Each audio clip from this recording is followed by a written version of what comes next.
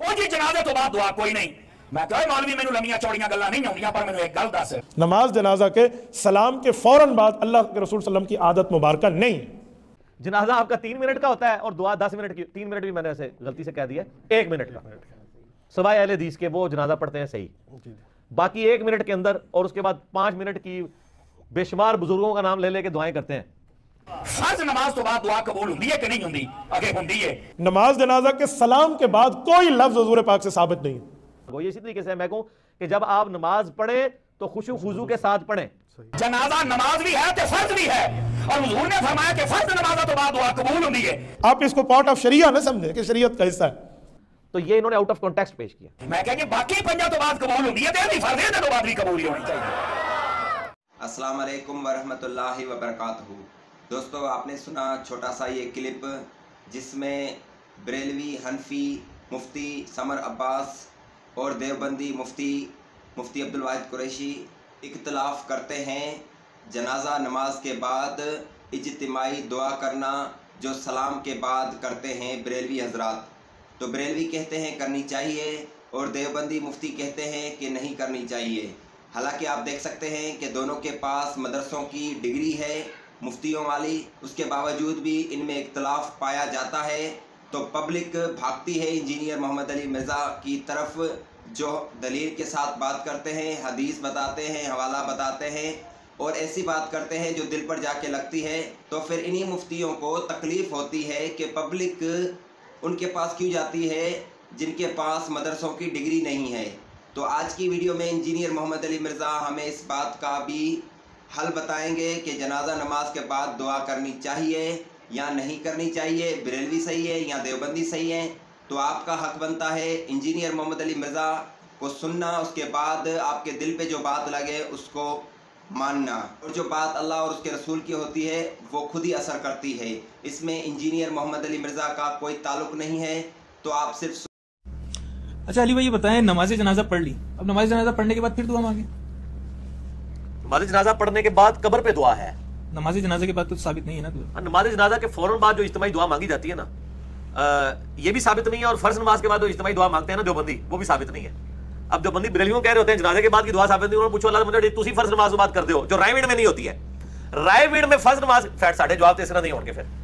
کہ اسی ایک تیر چلاواں کے سارے جناب تو ایک ایک پون دے جاواں گے سیدھا سیدھا۔ بندی جب کہتے ہیں نا جناب بریلی نے دعا کی تو کٹ لی جنازے والی؟ ان کو اتھو ہی کٹی ہے جو تو فرض نماز بعد کٹی ہے۔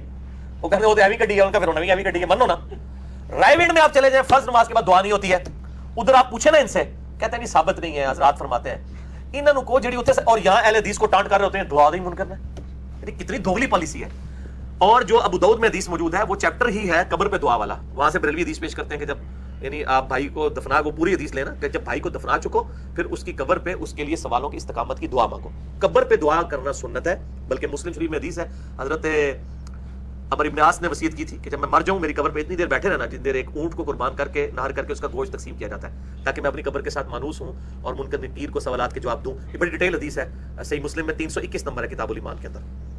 تو یہ مطلب قبر پہ دعا ہے۔ باقی یہ کہنا جنازے کے بعد دعا کی کیا ضرورت ہے قبر پہ بھی؟ تو جیسے فرض نماز کے بعد بھی تو دعائیں ہم کرتے ہیں نا انڈیویجول تو کرتے ہیں اللہ السلام علیہ السلام۔ حالانکہ نماز میں بھی دعائیں کر چکے ہوتے ہیں۔ وہ اللہ سے اذکار ہیں، یہ اللہ سے اذکار ہے چلیے بھائی سے ایک اور سوال نکلتا ہے۔ نماز کے بعد کے جتنے بھی اسکار ہیں عموماً وہ ساری دعائیں ہیں۔ جی جی دعائیں دعائیں ہیں۔ اب وہ جو دعائیں رپورٹ ہوئی ہیں وہ صحابہ نے سنی ہیں تو اس سے تو یہی معلوم ہوتا ہے کہ وہ جہرن نبی کریم صلی اللہ علیہ وسلم نے پڑھی جی, جی، بالکل اس طرح ہی ہے وہ اس طرح نہیں اگر کوئی جہرن پڑھ رہا ہے اور پیچھے کوئی آمین کہہ دیتا ہے تو وہ بدت ہو جائے گی۔ نہیں نہیں اس طرح نہیں ہوتا۔ مسئلہ یہ ہے کہ آپ صلی اللہ علیہ وسلم نے جو تعلیمات یعنی دی ہیں نا دعا کے حوالے سے وہ بعض اوقات آپ صلی اللہ علیہ وسلم خود جان بوجھ کے اس کو بلند آواز میں پڑھ دیتے تھے۔ یہ عادت نہیں ہوتی تھی۔ امت کو سکھانے جی جی سکھانے کے لیے۔ جیسا کہ اما عائشہ روایت کرتی ہیں کہ آپ فجر کی پہلی رکت میں قل یا الکافرون اور دوسری میں کل اللہ حد پڑھتے تھے وہ ایک دفعہ آپ نے سنوا دیا ان کو۔ اسی طریقے سے بخاری مسلم حدیث ہے کہ آپ صلی اللہ علیہ وسلم نے بعض کا زہر اثر میں بھی جب صورت ملائی تو چند آیات بلند آواز میں پڑھ دی تاکہ ہمیں پتہ چل جائے۔ تبھی تو صحابہ نے روایت کی نا۔ یہ عمومی عمل نہیں تھا۔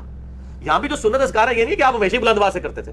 ایک دو بار کر کے تعلیم فرما دی ہوں گے کبھی اونچی آواز سے کبھی بٹھا کے اس لیے تو اذکار بھی سترہ کے قریب ہے ایک گرین کارڈ ہمارا یہ صبح شام کے جو اذکار فرض نماز کے بعد کے اذکار چھپا ہوا ہے نا اور یہ بلو کارڈ ہمارا چھپا ہوا ہے صبح شام کے اذکار۔ تو یہ دعائیں مطلب دعائیں اور اذکار ہیں۔ اس طرح۔ اچھا ایک نئی چیز اب شروع ہو گئی ہے دعوت اسلامی کی مساجد میں کہ جب نماز جنازہ ختم ہو جاتی ہے تو پھر اس کے بعد درود السلام کھڑے ہو کے پڑھتے ہیں میت کو سامنے رکھتے ہیں۔ اب یہ ایک نئی چیز ہے۔ میرے بھائی جب گیئر الٹا لگ جائے نا اس کے پھر رزلٹ یہی نکلیں گے۔ جب انہوں نے ایک فارمولا گھاڑ لیا کہ آپ جو بھی نیکی کا کام کرتے ہیں جس وقت مرضی کریں وہ نیکی ہے اور سنت حسنہ ہے۔ یہ اس کو کہتے ہیں بدت حسنہ ہے۔ پھر وہ نکاح کے بعد بھی کریں سر وہ کریں گے۔ آپ یہ مشورے نہ دیں۔ ہاں جناب یہ مشورہ جناب بھگت چکے ہیں۔ اہل حدیثوں نے ڈاکٹر تعلق قادری صاحب عالمی میلاد کانفرنس کرواتے تھے۔ یہ ہر سال کہیں کہ یار اگر یہ واقعی عید کا دن ہے تو نماز کیوں نہیں پڑھاتے؟ تعلق قادری نے نماز بھی شروع کرا دی ہے۔ جی جی انہوں نے یعنی جب بالکل آسم کی پیدائش کا وقت آتا ہے نا تو انہوں نے وہاں پہ نوافل کی جماعت شروع کروا دی، تحجد کی، کہ یہ ہم شکرانے میں پڑھ رہے ہیں آپ آسم کی پیدائش کے۔ تو خدا نہ آئے مشورے نہ دو ایک گاٹے فٹ ہو جان گے جی انہوں نے شروع کر دینا جی سب کچھ۔ اب مسئلہ ہے کہ ان کا گیئر لگ چکا ہے، الٹا۔ اب وہ سارے معاملات کرتے جا رہے ہیں۔ اس کو جواب ان کو یہ نہیں دینا آپ نے۔ آپ ان کو وہ جواب دیں جو یہ کر نہیں سکیں گے۔ ہاں، اور انجینئر صاحب تو ہم دس دے رہے ہیں۔ ان سے کہیں کہ آپ جنازے کی جو نماز ہے، اس کی بھی اذان شروع کروائیں۔ اور عید کی جو نماز ہے، اس کی بھی اذان شروع کروائیں۔ اور اقامت بھی شروع کروائیں۔ یہ اتنی بڑی شڑولا ہے کہ یہ نہیں کر سکیں گے۔ کیونکہ فقہ حنفی کی پرانی کتابیں بھی چینج کرنی پڑ جائیں گی ساری۔ تو ان کو کہ یار سنت حسن ہے اذان کی آواز سے بخاری، مسلم حدیث ہے، شیطان کتنے کلومیٹر یعنی وہ چالیس میل دور بھاگ جاتا ہے، اس کی ہوا خارج ہو جاتی ہے۔ تو یار جنہوں نے آنے ہی سال کے بعد مسجد میں ہوتا ہے، عید کے لیے اذان کو نہیں دیتے، آپ شیطان نساؤ یار شروع کراؤ، ٹھیک ہے۔ تو یہ وہ کہیں گے نہیں جی ثابت نہیں، ان کو کہ آپ کی تو ڈیفینیشن نہیں ثابت ہو رہی، آپ تو کہتے ہیں جو بھی نیک کام ہے، جس وقت مرضی کر لو، وہ ثابت ہے۔